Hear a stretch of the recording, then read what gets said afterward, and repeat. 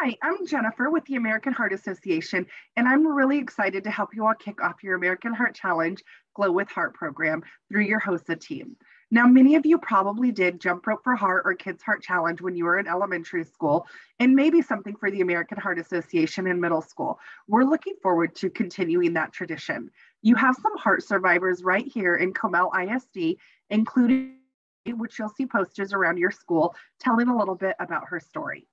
I'm going to go ahead and turn it over to Addie, and she's going to tell you her story, how to register, and challenge you to take Finn's mission.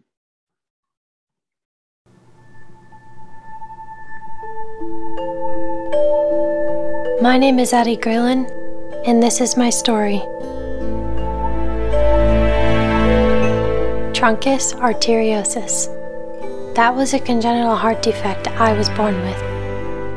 Most people in this world are born with four heart valves. I was only born with three. My journey into this world wasn't always the smoothest, but my story doesn't end there.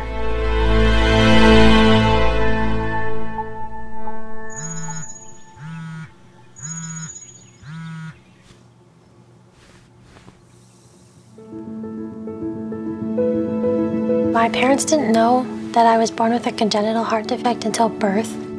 I had my first open heart surgery at one month, my second at seven months, my third at two and a half years, and my fourth at 10 years old. I have artificial stents and valves in my pulmonary artery that keeps my blood pumping. My heart is a special kind of heart and it has to work twice as hard to pump blood. It makes it very difficult to run around and even play the sports I love.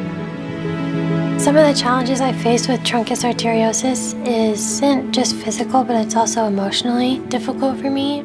Feeling different from my friends is always hard. I started getting the question of what was wrong with my voice. My voice is different than other people's because I've had so many breathing tubes gone down my throat. A lot of little kids would ask me, why is your voice so scratchy? Are you sick? And that's kind of when I had to tell them I had four open heart surgeries. I remember the night before one of my surgeries, I finished showering and I laid down in the hotel bed and I just felt tears roll down my face. My mom asked me if I was okay and I didn't know what to say. I was nervous I wasn't going to see my family again. That's the scariest part of heart disease is not knowing if you're going to see your family again. I always have in the back of my mind I do have to have another open heart surgery in a few years, but I know that I've been through four of them, which means I can go through five of them. I think having a heart condition has made me the strongest person I can be. I inspire not just my family, but I inspire a lot of people, and that's what pushes me. I know that tomorrow is never guaranteed, and that's why each morning when I wake up, I live it harder than I did the day before.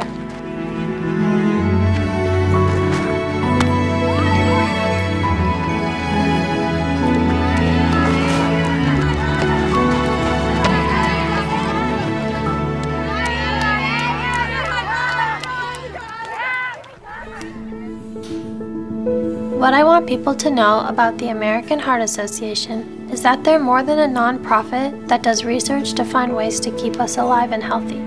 They're a champion for health, equity, and fight for kids and adults to give them their best chance of a long and healthy life.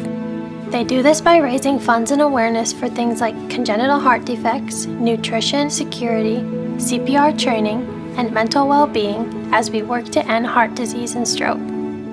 I use my voice to advocate for others because I know what it's been like to be put down. And I also know what it's been like to have someone stand next to me and stick up for me.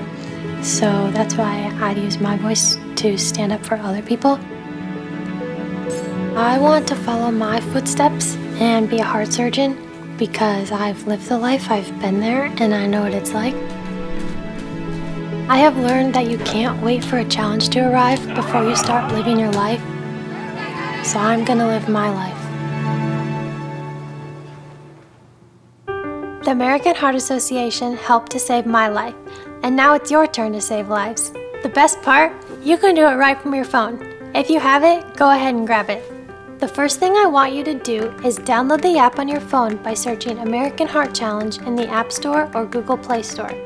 Once you have the app downloaded, go ahead and click Register.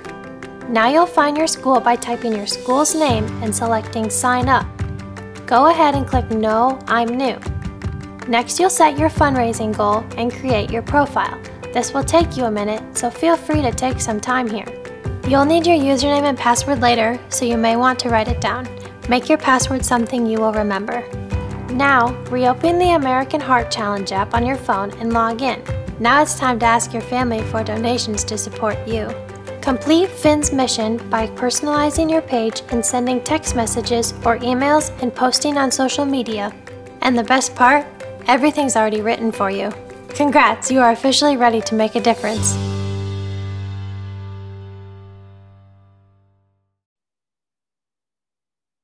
Now that you've heard Addie's story and seen how to register, our goal at Pieper High School is to raise $2,500. The way to do that is make sure that you complete Finn's mission. So are you up for the challenge?